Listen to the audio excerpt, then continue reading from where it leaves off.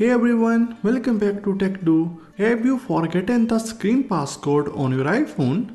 Don't worry, we got a solution that can help you out. In this video, we will be exploring how to use TunesKit iPhone Unlocker to remove the screen lock on your iPhone. Let's dive right in. So you have forgotten your iPhone screen passcode and find yourself locked out. It can be frustrating, but fear not because TunesKit iPhone Unlocker is here to save the day. It's a powerful tool designed to help you regain access to your device without any hassle. It supports different lock types including 4-digit passcode, 6-digit passcode, Touch ID and even Face ID. Before we proceed, make sure to download and install TunesKit iPhone Unlocker on your computer. You can find the link in the video description. Here you need to click on iOS Screen Unlock. It can remove all types of screen locks like 4-digit, 6-digit passcode, Touch ID or Face ID and with this you can remove Apple ID and it can bypass mobile device management and remove management on iOS devices. And it can also remove screen time passcode. So we want to unlock iOS screen, click on start. Connect your iOS device to the computer using a data cable it will automatically select the most recent iOS firmware file that can be installed on your iOS device. Choose a save path and click download to proceed.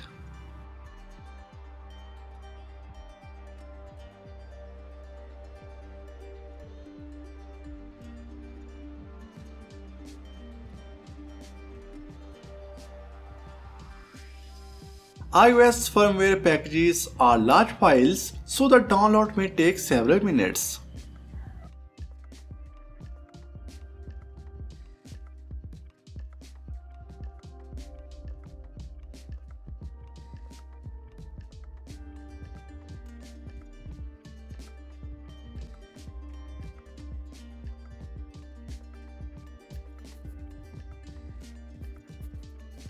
Once the download is complete, you will be able to start unlocking your disabled iPhone without its passcode. After you click start to remove, it will begin removing your iPhone's passcode. You will see a status bar in the program window.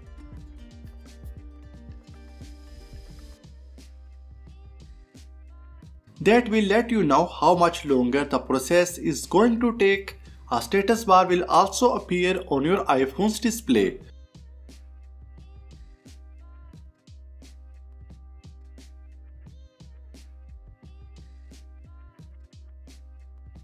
The whole process takes several minutes.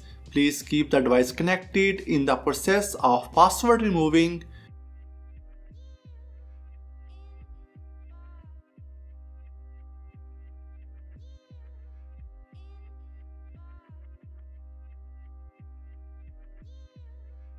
When the process completes, it will say that the lock screen has been removed completely and your iPhone will say hello. If this screen looks familiar to you that's because it's the initial setup screen that you saw when you took your iPhone out of the box for the very first time.